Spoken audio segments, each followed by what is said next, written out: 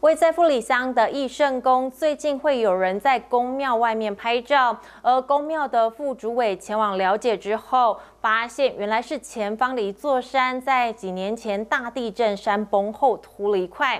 那当时没有注意到，现在信徒发现了。有些说看起来像是戴着帽子的人脸，以及留了胡子的男人。有人觉得像一只猪等等，各种角度出现各种的脸庞。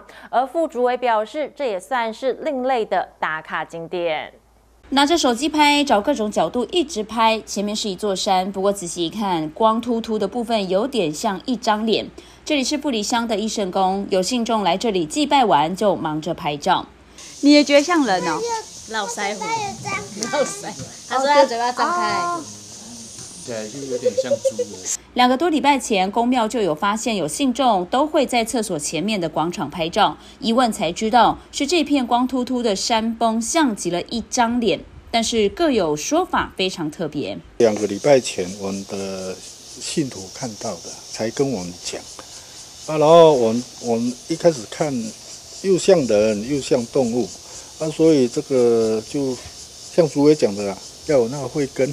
副主委表示，这个崩塌其实是在二零一八年的零二零六大地震时就已经塌了，只不过那时没有绿色植物长出来。现在过了好几年，有几棵树叶长出来了，就像眼睛，也像头发，各种角度出现各种脸。